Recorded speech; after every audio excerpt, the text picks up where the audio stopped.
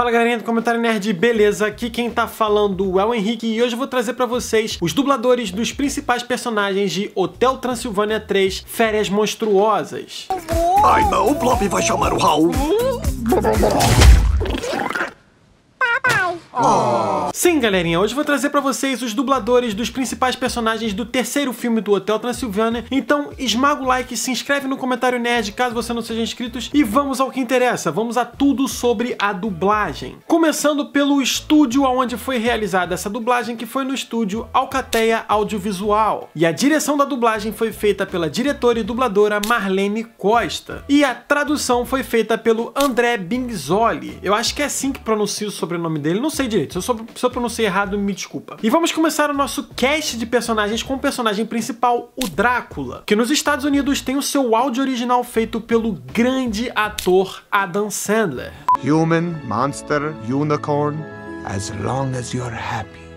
Já no Brasil, seu dublador é o grande dublador Alexandre Moreno. Humano, monstro, unicórnio, desde que você esteja feliz. Bom, e como eu falei, o áudio original é feito pelo Adam Sandler, que no Brasil já é dublado pelo Alexandre Moreno. Então eles optaram por escolher a própria voz do, do Adam Sandler aqui no Brasil. Diabo, e ele quer se manter no trono por mais 10 mil anos, né? E isso deixou meus irmãos furiosos. Além disso, outra dublagem que o Alexandre faz que é muito conhecida é a dublagem do Alex no Madagascar. Meu mano, eu ajudo você. Aguenta, filho. Pera aí que eu já te ajudo. Comenta aqui embaixo se vale a pena futuramente eu trazer um Quem Dubla Madagascar, que já me pediram algumas vezes. Agora vamos falar do personagem Jonathan, que nos Estados Unidos tem o seu áudio original feito pelo Andy Samberg. No special reason at all. Right, maybe? Já no Brasil, o seu dublador é o Mike de Licita. Não tem motivo especial, não. né, Mavis? Mike D é muito conhecido por ser a voz do Rocket Raccoon aqui no Brasil. Ai, ai, me desculpa. Seu, seu nome é. É Taserface? Falamos do Jonathan, agora vamos falar da Mavis, a mulher dele, filha do Drácula, que nos Estados Unidos tem o seu áudio original feito pela Selena Gomes. So, you're really okay with him not being a monster? Já no Brasil, sua dubladora é a Fernanda Baroni. Então, você tá levando numa boa mesmo ele não ser um monstro? Fernanda Baroni, que já concedeu uma entrevista aqui pro nosso canal, que está dividida em duas partes e vai estar aparecendo aqui no card para vocês. Além disso, Fernanda Baroni é a voz da Viúva Negra aqui no Brasil. Antes de trabalhar pra SHIELD, eu. Bom, eu criei uma reputação. Nesse filme nós temos a introdução de uma nova personagem que é a Capitã Erika Van Helsing, que nos Estados Unidos tem o seu áudio feito pela Catherine Hahn. Hi there! I am Captain Erica. You must be the one and only Dracula. Já no Brasil, sua dubladora é a dubladora Angélica Borges. Bem-vindos a bordo! Eu sou a Capitã Erika. E você deve ser o famoso Conde Drácula. Angélica Borges dublou a personagem Lilia Test no Johnny Test. Ai. Johnny, seu pai e eu queríamos dar a você uma scooter mais segura que havia na liquidação de encalhados e por isso compramos uma super scooter que anda bem devagar. Outro personagem que é introduzido no filme é o Capitão Van Helsing, que nos Estados Unidos tem o seu áudio original feito pelo Jim Caffingham. First I kill Dracula, and then the rest of the monsters. Já no Brasil, seu dublador é o Mário Jorge Andrade. Mário Jorge dubla um dos personagens mais queridos no Brasil, que é o personagem burro do Shrek. Você foi simplesmente demais. Incrível. Tá falando comigo? É, eu tava falando contigo. Um dos personagens mais queridos do, do, universo do Hotel Transilvânia é o Frankenstein, que nos Estados Unidos tem o seu áudio original feito pelo Kevin James. What about Johnny? He doesn't want to go. He's making the hotel more human-y for Dennis, you know, seeing that he isn't a monster. Já no Brasil, seu dublador no terceiro filme é o Márcio Donde. Quem sabe você não encontra o amor aqui. Esse não é o Titanic, Frank. Vale a pena lembrar que nos outros dois filmes, no Hotel Transilvânia 1 e 2, quem dublou o Frankenstein foi o Mauro Ramos. Mas e o Johnny? Ele eu acho que não. Ele tá deixando o hotel mais humânico pro Dennis, já que ele não é monstro.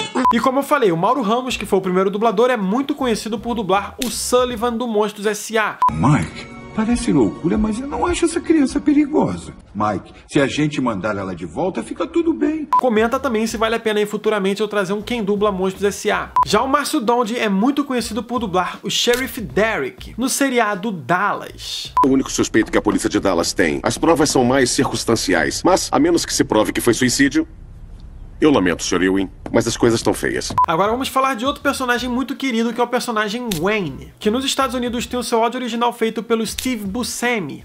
Okay, so what you want to do is lift the racket right on impact so you get that nice top spin. Try and hit one. Já no Brasil, seu dublador é o grande dublador Jorge Lucas. Tipo, o que você tem que fazer é inclinar a raquete na hora da rebatida para dar um efeito na bola. Tenta uma vez. Jorge Lucas é o atual dublador do Jack Sparrow. É o fruto do pecado daqueles dois. Sua mãe já perguntou sobre mim? Não.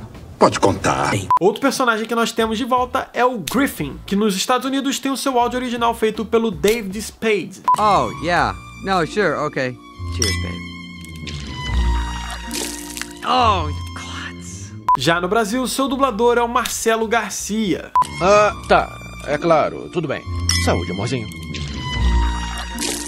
Que desastrada! Marcelo Garcia é muito conhecido por ser o dublador do Flash no seriado Liga da Justiça Sem Limites.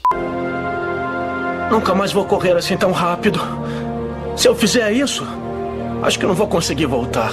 Um dos personagens mais queridos do Hotel Transilvânia, um dos meus favoritos, é a Múmia Murray, que nos Estados Unidos tem o seu áudio original feito pelo Keegan Michael Kay. Okay. I got this. Frank, Wayne, Griffin, just try not to fail me. Já no Brasil, seu dublador é o Reginaldo Primo. Fazer o quê, né? É comigo. Frank, Wayne Griffin não vão se borrar, né? Reginaldo Primo é muito conhecido por ser o dublador de vários personagens de quadrinhos e uma das dublagens que ele faz que eu mais gosto é a do Frank Castle na Netflix. Que isso? Abre essa droga de porta. Ei! Ei! Ei! Sr. Castle, obrigado. O Jonathan e a Mavis tiveram um filhinho, e o nome do filhinho é Dennis, que nos Estados Unidos tem o seu áudio original feito pelo Asher Blinkoff. Uh-huh. I dreamed that I saw a Stegosaurus. Oh, and were you drinking his blood? No. Já no Brasil, seu dublador é o Arthur Salerno. Aham, uh-huh. eu sonhei que eu vi um estegossauro. Oh, e você bebeu o sangue dele? Arthur fez uma dublagem aí que particularmente eu gostei muito nesse ano, que foi a dublagem do personagem Miguel no Viva a Vida é uma Festa. Que eu olho pro De La Cruz e consigo sentir uma conexão com ele. Tipo, se ele conseguiu ser músico, talvez um dia eu também consiga.